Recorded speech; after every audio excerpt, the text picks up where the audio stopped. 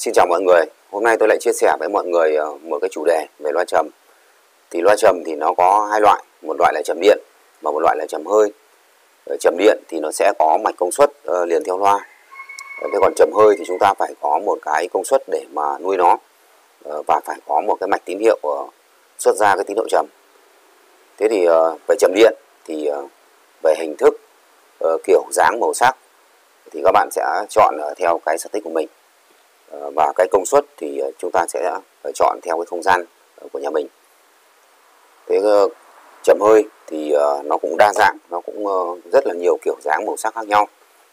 Thế thì khi chúng ta chọn chầm điện thì chúng ta sẽ lưu ý những vấn đề gì? Thì một là về cái thông số kỹ thuật. Thì thông số kỹ thuật thì nó cũng có hai cái cơ bản. Một là cái công suất của cái loa đấy. Hai là là cái cái giải tần giải tần số mà trong cái phạm vi hoạt động của cái loa đấy. Thì ờ, đối với trầm điện thì ờ, nó cũng có nhiều dạng dạng ờ, hàng mới hàng chính hãng công ty, hàng bãi xịn và một số cái loại trầm dựng trầm gọi là hàng hàng nhái. Thế thì chủ đề hôm nay thì tôi cũng chỉ có chia sẻ các bạn về cái dạng loa trầm là hàng mới chính hãng và cái hàng bãi xịn. Thì đối với các loại hàng thuộc dạng là chất lượng thì uh, chúng ta sẽ thử ở các cái giải tần số tầm từ 100 đến hơn 100 uh, chúng ta sẽ xoay cái nút uh, gọi là cắt cốt trên ờ, uh, chậm điện đặt ở cái vị trí tầm khoảng trăm hơn trăm để thử xem cái chất âm trầm nó có được chắc gọn hay không nó có độ uh, sâu độ mềm hay không. Chứ còn nếu như mà uh, chúng ta chỉ có ừ, cắt uh, tần ở cái tần số tầm khoảng 5 60 Hz thì cũng chưa thể đánh giá hết được uh, cái chất âm của chiếc loa điện đó thế cho nên rằng là và theo tôi thì các bạn cũng nên ờ, chọn ở cái tần số trên 100 thế còn đối với lại ờ, uh, chầm hơi chầm hơi thì ờ, chúng ta sẽ sử dụng mạch công suất một, một, một cái phần công suất để mà nuôi cho cái chầm hơi đó và phải có cái đường tín hiệu xuất ra có thể là từ vang số vang cơ hay là nâng tiếng. Thì uh, trên video hôm nay thì uh, tôi sẽ chia sẻ các bạn uh, thông qua chiếc vang số DK 9000 của hãng Đa Giang Kinh. Thì uh, chiếc băng số này thì uh, có 8 giải quay laser ờ, trong cái phần căn chỉnh uh, về uh, phần súp thì uh, chúng ta sẽ uh, cắt tần số uh, ở vị trí tầm khoảng 30 Hz là loại bỏ cái tần số thấp. Và ở cái vị trí uh, cắt tần số cao thì uh, chúng ta uh, để cho âm trầm uh, nó đủ giải Ờ, và nó có độ sâu, độ mềm thì chúng ta cũng đừng nên cắt ờ, sâu quá. Ờ, tôi thấy có một số anh em sử dụng là cắt ừ, ở cái tần số ở mé bên giải cao tầm 100 hơn trăm thì nó làm cho âm trầm, nó bị có thể là nghe là nó có có vẻ là chắc gọn nhưng mà nó lại không đủ dài. Nó làm cho âm trầm, như vậy là nó thiếu đi cái sự độ sâu của âm trầm và cái độ mềm mại, độ nảy của âm trầm thế cho nên rằng là ờ, trên vang số thì chúng ta cứ cắt tầm khoảng độ dưới 200 dưới 200 và một điều lưu ý nữa là để mà chỉnh được cái âm trầm mà nó uh, nó nó nó vừa đảm bảo được cái độ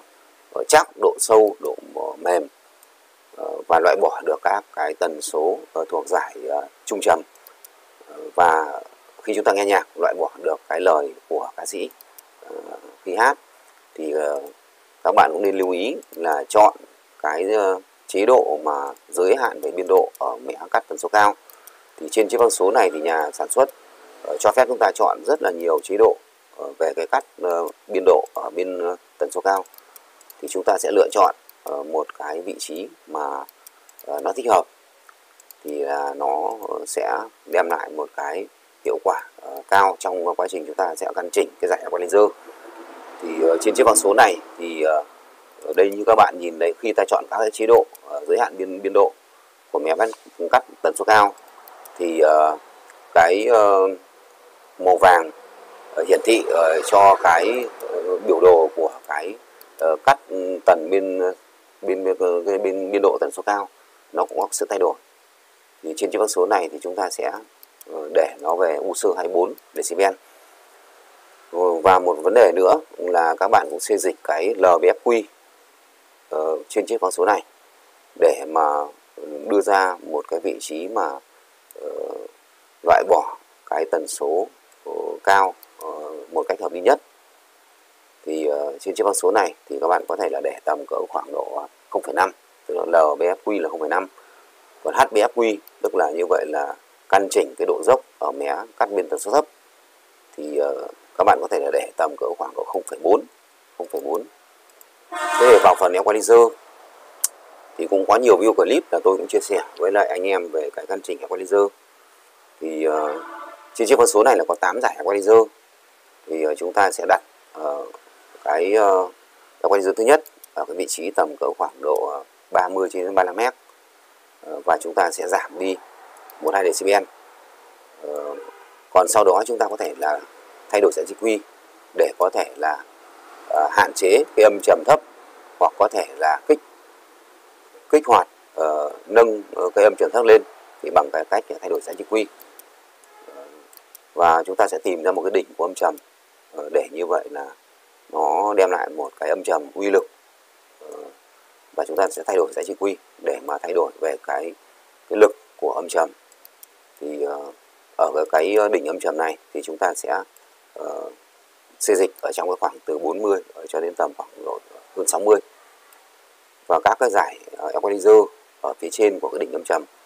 thì ở trên chiếc con số này thì cũng có ba bốn giải equalizer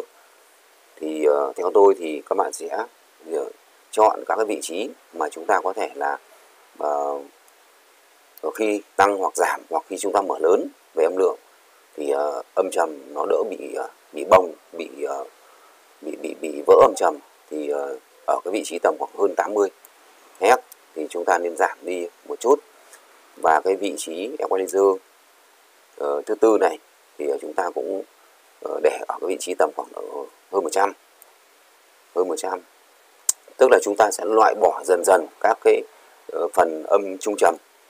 Uh, chúng ta không loại bỏ hết chúng ta không uh, cắt hết. Nếu như chúng ta mà đưa cái LBF này về uh, xuống sâu tức là xuống cái vị trí giá